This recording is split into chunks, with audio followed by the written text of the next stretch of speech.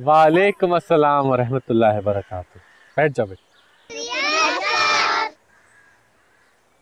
आप लोगों के उस्ताद थोड़े बीमार हैं तो जब तक वो पूरी तरह ठीक नहीं हो जाते, आप लोगों को सबक मैं पढ़ाऊँगा। क्योंकि आज पहला दिन है। क्यों ना एक कहानी से शुरुआत करें। जी जी।